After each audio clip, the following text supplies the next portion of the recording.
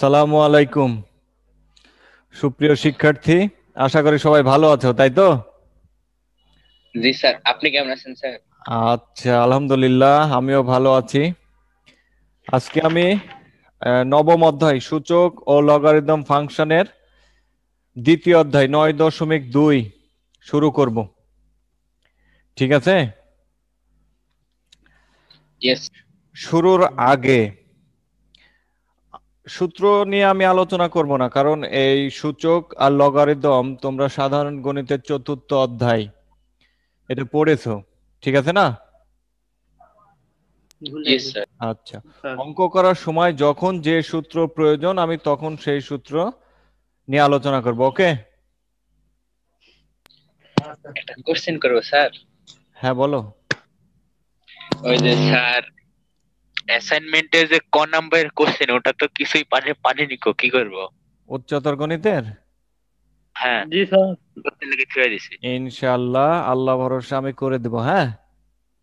ও আচ্ছা স্যার তাহলে আটকা রাখলাম অ্যাসাইনমেন্ট ও আমি করে দেওয়ার পর তুমি ওটা দেখে করে তারপরে অ্যাসাইনমেন্ট জমা দিবা?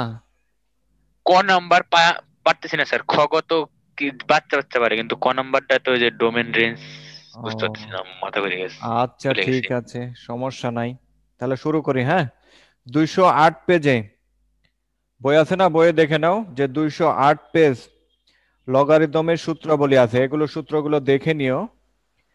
তবে সেখান থেকে আমি একটা সূত্র শুধু পাঁচ নম্বর সূত্রটা নিয়ে একটু কথা বলব। বইয়ে পাইছো সবাই? পাইছো না? জি স্যার, পাইছি। দেখো, পাঁচ নম্বরটা, ভিত্তি পরিবর্তনের সূত্র। হ্যাঁ? আচ্ছা। এই সূত্র নিয়ে কথা বলার আগে আমি তিনটা পশু নিয়ে কথা বলব। একটা হইল ডগ, একটা হইল ক্যাট, আর একটা হইল র্যাট। ঠিক আছে?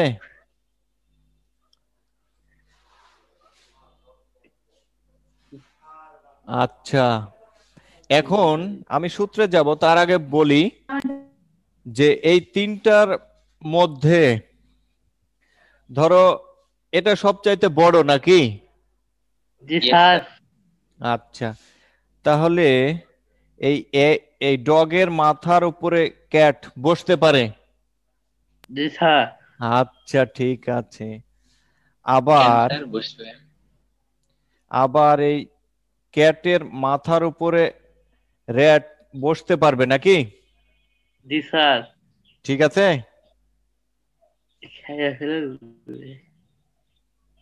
বোঝা যায়? জি স্যার। আচ্ছা। এবার আমি সূত্রে যাব। ওই যে পাঁচ নম্বর সূত্রটা বোঝানোর জন্য আমি এটা লিখলাম এটা থাক এখানে। লগ ভিত্তি হইল আমার ডগ আর এটার পাওয়ার হচ্ছে র্যাট এটা দিয়ে আমি সূত্রটা ওই পাঁচ নম্বর সূত্রটা তোমাদের শেখাবো। ঠিক আছে? জি স্যার। আচ্ছা। যেহেতু ভিত্তি পরিবর্তনের সূত্র কোশ্চিন সূত্রের নামকরণই করা হয়েছে ভিত্তি পরিবর্তনের সূত্র ঠিক আছে? এবার দেখো যে আমি প্রথমে যে তিনটা পশু নিয়ে আসছিলাম সেখান থেকে দুইটা আছে একটা নাই।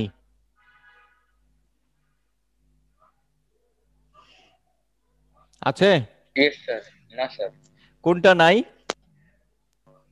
ক্যাট নাই। ক্যাট নাই। তাহলে ওই ক্যাট হবে আমার নতুন ভিত্তি। তাহলে আমি লিখব লগ ক্যাট তাহলে ক্যাটের মাথার উপরে কে বসতে পারবে? র্যাট তাহলে র্যাড বসবে। ওকে আচ্ছা। আর কে থাকল? আবার লগ এবার পুরনো ভিত্তি কে ছিল? ডগ ডগ ডগ এই ডগের ওপরে এই ক্যাটটা বসবে. বোঝা গেল সূত্রটা? জি স্যার। জি স্যার। তাহলে এবার আমি অঙ্কে যাব। ঠিক আছে? জি স্যার। বুঝতে পারছি। আবার যখন আমরা এই আহ, ডান পক্ষ থেকে বাম পক্ষ যাব মানে আমি তো ছোট সূত্র থেকে বড় সূত্র দেখাইলাম নাকি?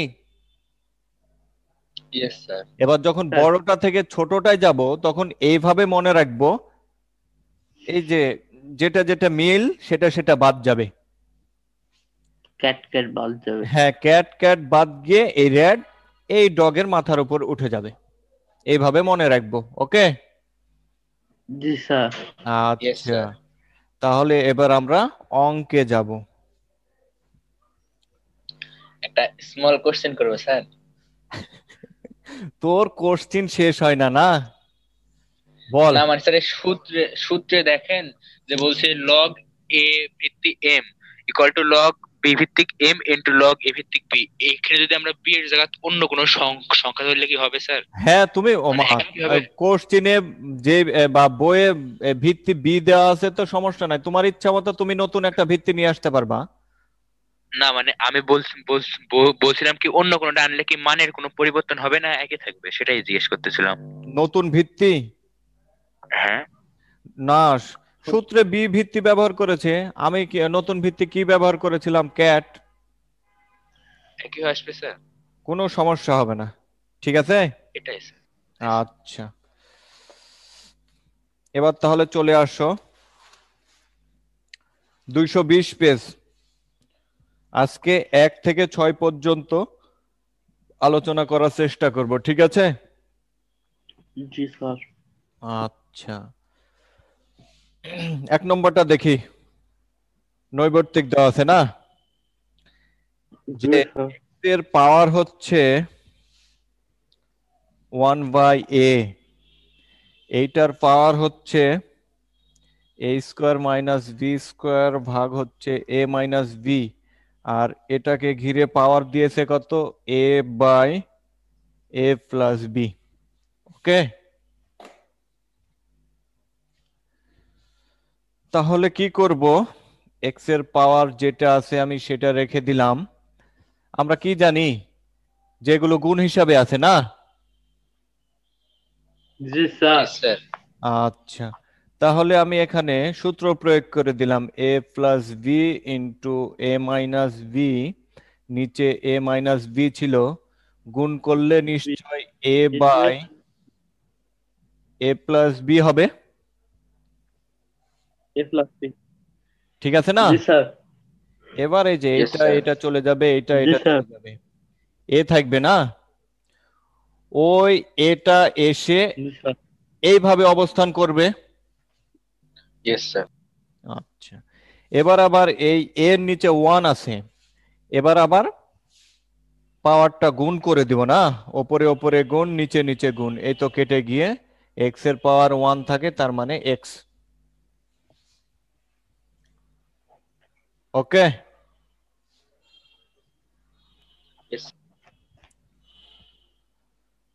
আচ্ছা। এবার তাহলে দুই নম্বরটা দেখি। প্রথমেই দেখেন যে আমি যে সূত্রটা শিখাইলাম ভিত্তি পরিবর্তনের সূত্র এক নম্বরটা ঠিক আছে কি দেখেন তো? যে বাম পাশে লগ এ ভিত্তি দেওয়া আছে আর পি পাওয়ার দেওয়া আছে। নতুন ভিত্তি বি নিয়ে আসছে।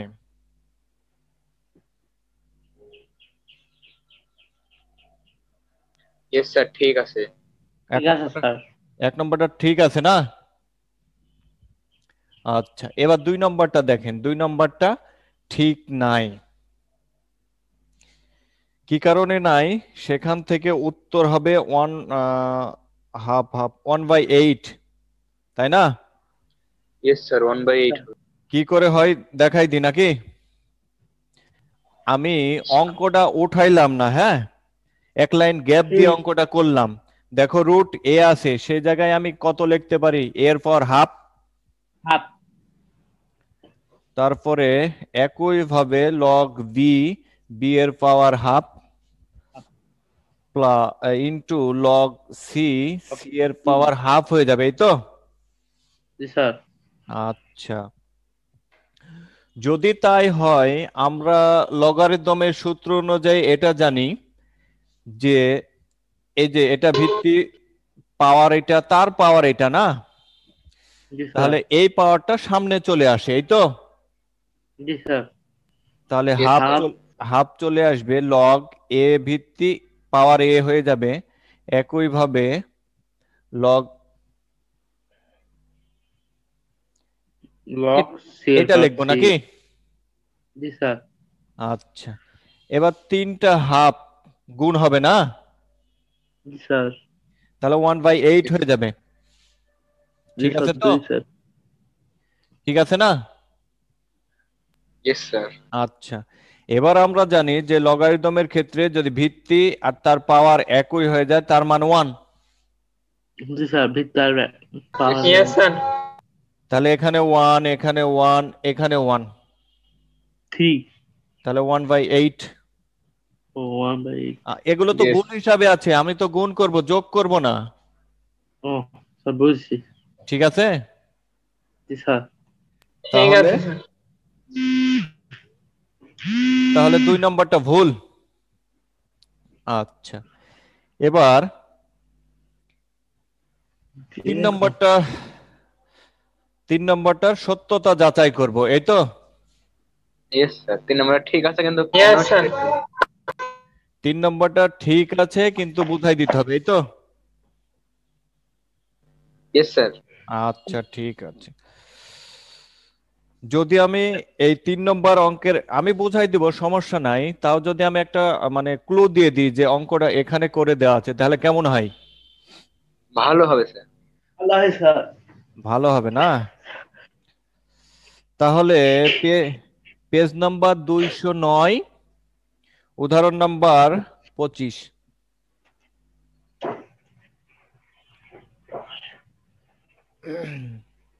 ঠিক আছে?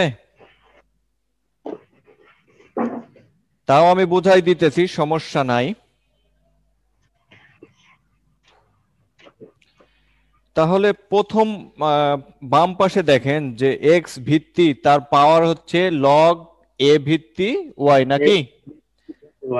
তাহলে আমি এটা করি আগে যে মনে করি ওই যে এক্সের যে পাওয়ারটা আছে সেটা সমান আমি ধরে নিব যে আমি ধরি যে লগ এ ভিত্তি ওয়াই সমান এম ধরলাম। এম একই ভাবে আহ, ডান পক্ষে যে যেটা পাওয়ার হিসাবে আছে যে লগ এ এক্স এন ধরলাম। ঠিক আছে? জি স্যার। আচ্ছা। এবার হ্যাঁ আচ্ছা। কন্টিনিউ ও ঠিক আছে। এবার আমরা এই যে লগারিদম থেকে যখন সূচকে যাব তখন কি হয়? লগ বাদ হয়ে যায় আর এই যে এরা দুইজন চেঞ্জ হয়। তাই না? জি স্যার। আচ্ছা। ইয়েস স্যার তাহলে এখান থেকে এর পর এম হবে আর ওয়াই হবে। তাই না? আচ্ছা। এবার একই ভাবে কি হবে? এ এন আর এই পাশে এক্স হবে। ঠিক আছে? আচ্ছা। এবার এবার কি করব? এখানে এম আছে পাওয়ার এখানে এন আছে। তাহলে এখানে এন এন পাওয়ারে উন্নীত করব। এখানে এম পাওয়ারে উন্নীত করব। ঠিক আছে? তাহলে যদি আমি তাই করি তাহলে M N R Y to the power N হবে? এ- জি স্যার। আচ্ছা। Yes sir.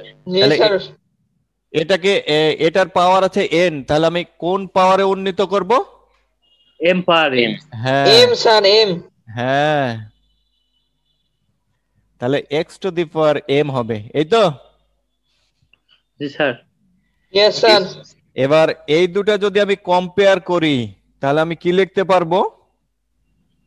y to the power n equal to x to the power m আচ্ছা। তাহলে আমি এটা লিখতে পারব না যে X to the power M equal হচ্ছে Y to the power N yes sir. Sir আচ্ছা। Yes, sir. এবার ওই যে আমি ধরে আসছিলাম এম এর মান কত ছিল? Y log log. A log ভিত্তিক y. এ ভিত্তিক ওয়াই আচ্ছা। ওয়াই থাকল। এন এর মান কত ছিল? লগ ভিত্তিক এ। ভিত্তিক এ. এই তো প্রমাণ হয়ে গেল। খুবই সহজ না? এটা কিন্তু ক নাম্বারেও আসতে পারে এই অঙ্কটা। ঠিক আছে? ঠিক আছে। আচ্ছা ঠিক আছে। তাহলে এবার আমি তিন নম্বরে যাব। তিন নম্বরে দেখেন যে X to the power sorry A to the power X সমান হচ্ছে B to the power Y সমান হচ্ছে C to the power Z এই তো? A to the power X B to the power Y সমান হচ্ছে C to the power Z এটা হচ্ছে আপনার উদ্দীপকে দেয়া আছে। এখন তিন নম্বরে বলা আছে কোনটি সঠিক? এখান থেকে আমি কি লিখতে পারি? A B A to the power X B to the power Y সমান লিখতে পারি না? আর কি লিখতে পারি? B to the power Y equal C to the power Z লিখতে পারি? আর লিখতে পারব A to the power X equal C to the power Z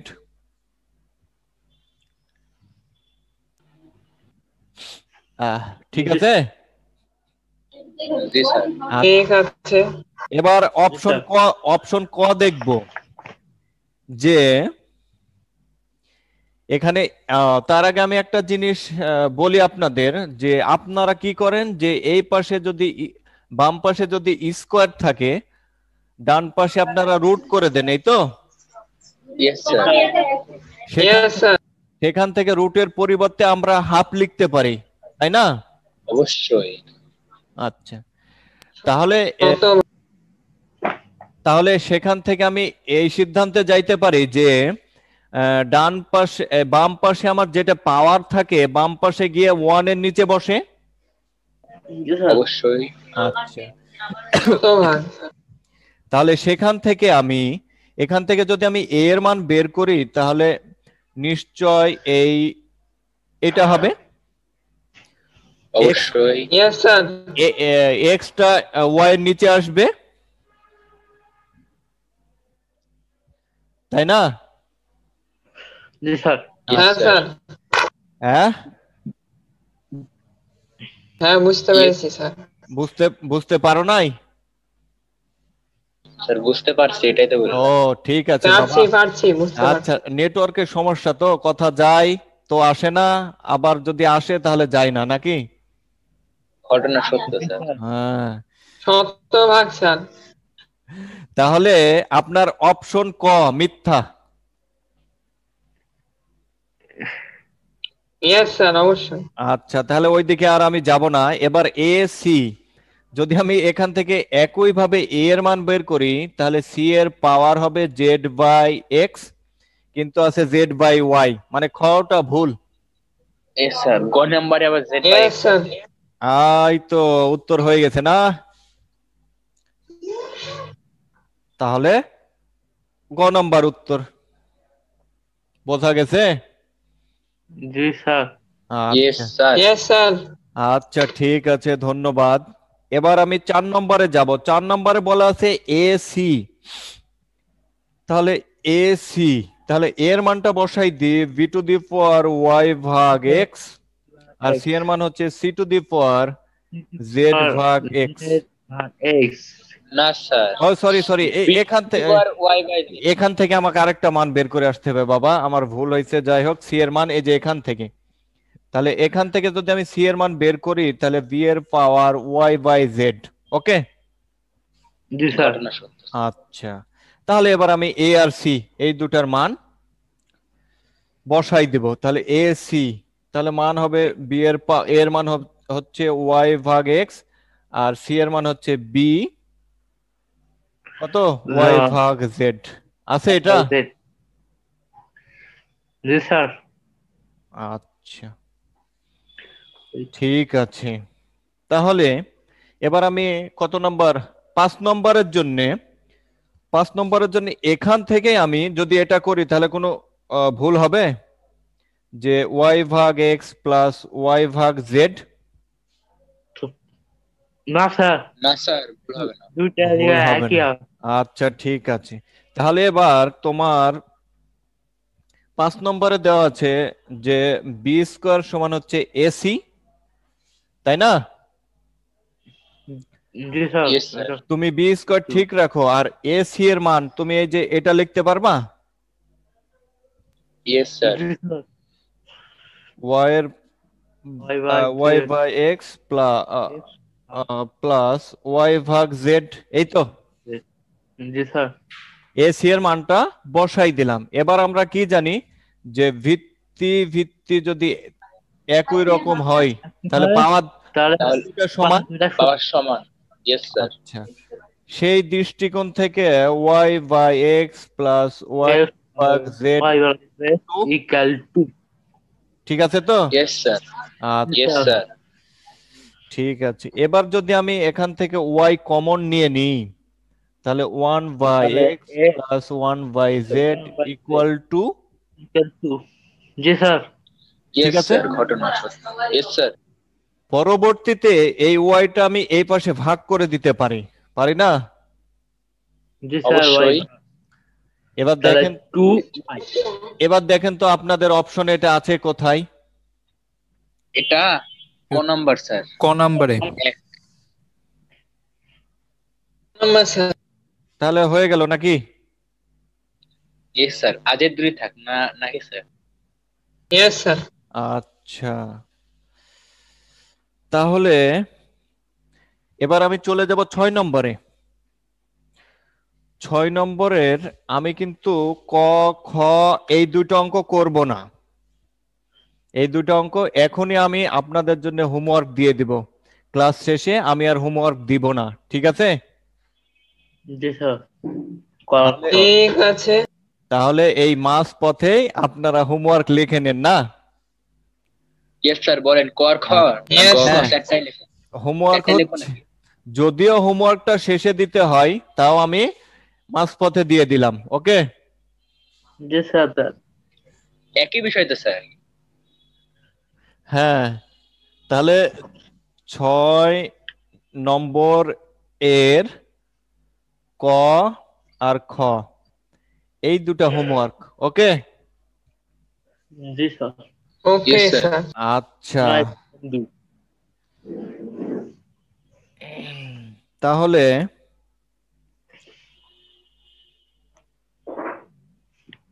আর তিন মিনিট সময় আছে। অঙ্ক শুরু করব। ক্লাস শেষ করে দেবো আজকে। স্যার আজকের মতো এত দূরই থাক স্যার। অত বড়াই কি হবে স্যার বলেন? অল্প অল্প করে শিক্ষাই অনেক। আচ্ছা ঠিক আছে তাহলে।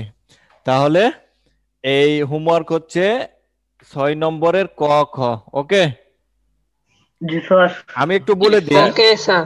যে ছয়ের ক নাম্বারটা কিন্তু দুই ভাবে করা যাবে।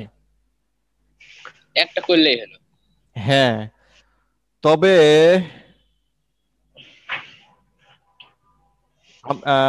আমি যে পদ্ধতি জানি প্রথম পদ্ধতি করলে একটু সময় কম লাগবে দ্বিতীয় পদ্ধতি করলে একটু বেশি লাগবে। স্যার আমি কম সময় দিয়ে করব। ঠিক আছে?